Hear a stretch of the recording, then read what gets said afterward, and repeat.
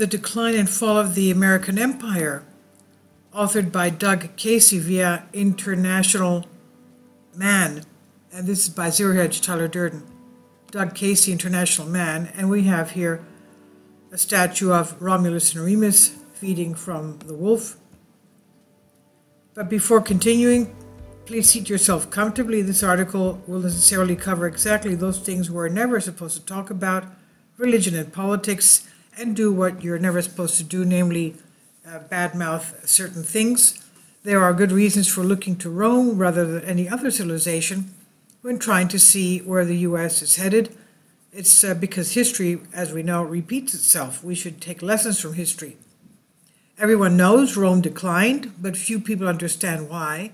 And I think even fewer realize that the US is now well along the same path for pretty much the same reasons, and I'll explore shortly, he says.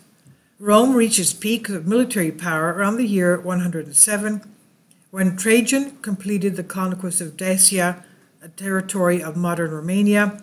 With Dacia, the empire peaked in size, but I'd argue it was already past its peak by almost every other measure. The US reaches peak relative to the world in the same ways, its absolute peak, as early as the 1950s. In 1950, this country produced 50% of the world's GNP and 80% of its vehicles. Now it's about 21% of the world GNP and 5% of its vehicles. It owned two thirds of the world's gold reserves, now it holds one fourth. It was by a huge margin the world's biggest creditor, whereas now it's the biggest debtor by a huge margin. The income of the average American was by far the highest in the world. Today it ranks about eighth, and it's slipping. But it's not just the US, it's Western civilization that is in decline.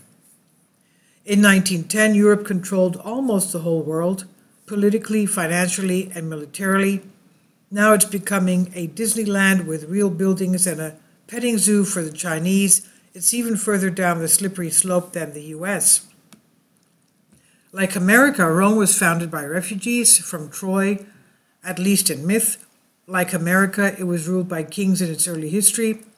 Later, Romans became self governing with several assemblies and a senate, and later still, power devolved to the executive, which was likely not an accident. U.S. founders modeled the country on Rome, all the way down to the architecture of government buildings, the use of the eagle as a national bird, the use of Latin mottos, and the unfortunate use of the fasces, the axe uh, surrounded by rods, as a symbol of state power. Publius, the pseudonym author of the Federalist Papers, took his name from one of Rome's first consuls.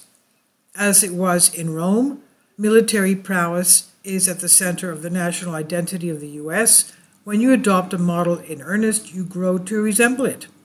A considerable cottage industry has developed comparing ancient and modern times since Edward Gibbon published The Decline and Fall of the Roman Empire in 1776, the same year as Adam Smith's Wealth of Nations and the U.S. Declaration of Independence were written. I'm a big fan of all three, but DNF is not only a great history, it's a very elegant and readable literature and it's actually a, la- a laugh riot. Gibbon had a subtle wit.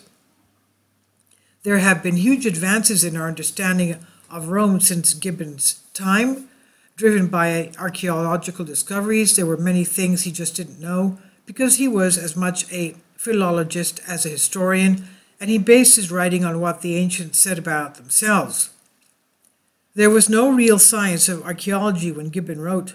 Little had been done even to correlate the surviving ancient texts with what was on the surviving monuments, even the well known monuments, and on the coins, not to mention scientists digging around in the provinces of what was left of Roman villas, battle sites, and that sort of thing. So Gibbon, like most historians, was to a degree a collector of hearsay. And how could he know whom to believe among the ancient sources? It's as though William F. Buckley, Gore Vidal, and H. L. Mencken, Norman Mailer, and George Carlin all wrote about the same event, and you were left to figure out whose story was true.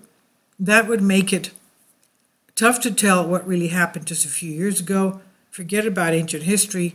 That's why the study of history is so tendacious. So much of it is he said, she said. In any event, perhaps you don't want a lecture on ancient history. You'd probably be more entertained by some guesses about what's likely to happen to the US, and I've got some. Let me start by saying that I'm not sure the collapse of Rome was not a good thing.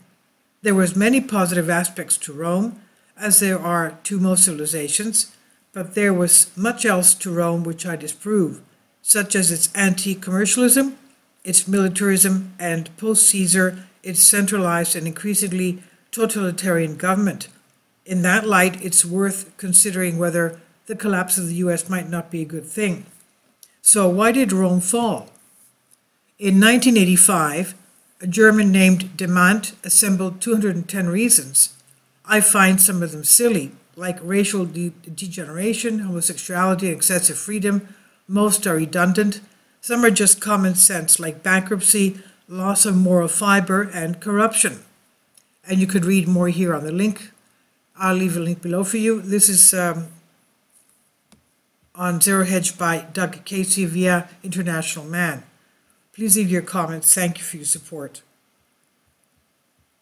Kindly support my Patreon account. The daily posts are five videos daily, and they are totally different from what I have on my YouTube channel. Thank you so much for your support and that you find all my content so interesting. You'll find the Patreon account details in the description box below.